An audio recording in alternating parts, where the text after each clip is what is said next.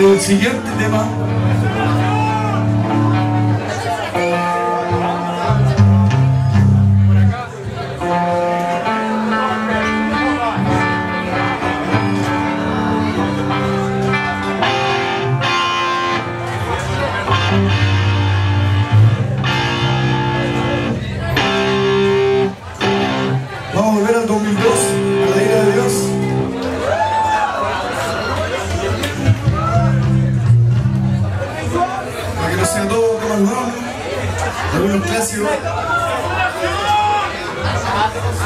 Este como siempre dedicado a Andrés Florencio.